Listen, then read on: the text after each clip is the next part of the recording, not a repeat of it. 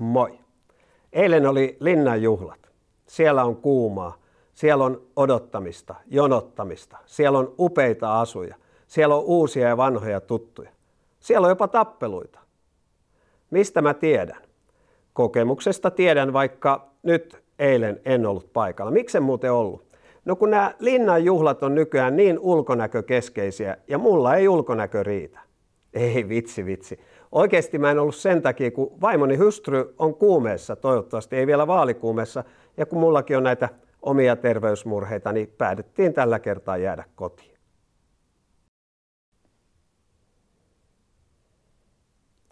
On mulla kyllä ihan vakavaakin asiaa. Valitettavasti maahanmuuttajat ja monet eri etnisiin ryhmiin kuuluvat suomalaiset ovat joutuneet kokemaan rasismia verkossa ja kaduilla. Oli kuitenkin ainakin minulle uusi ja hyvin kylmäävä kokemus, että Helsingin kadulla marssittiin natsilippujen, hakaristilippujen perässä. En tiedä, mitä näiden ihmisten päässä liikkuu vai liikkuuko yhtään mitään. Onko heidän mielestään hyvä asia, että natsit murhasivat yli 6 miljoonaa juutalaista ja muita eri ryhmiin kuuluvia täysin viattomia ihmisiä.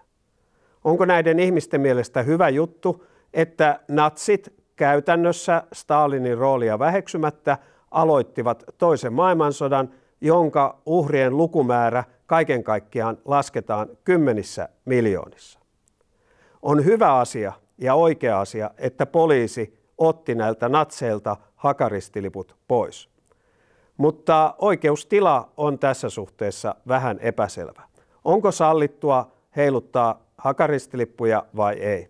Itse pidän tärkeänä, että holokaustin uhrien muistoyhdistys on puheenjohtajansa varatuomari Kimmo Sasin johdolla kirjelmöinyt tänään oikeusministeriölle ja esittänyt selvitystä, miten tilanne on muissa Euroopan maissa ja asettanut sen tavoitteen, että joko oikeuskäytännön kautta tai säädösten muuttamisen kautta pitää päästä siihen, että hakaristiliput eivät Helsingin kaduilla liehu.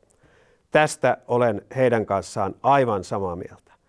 Joko oikeuskäytännön selkiintymisen kautta tai säädösmuutosten kautta on päästävä siihen, että Helsingin kaduilla ei hakaristilippujen perässä marssita.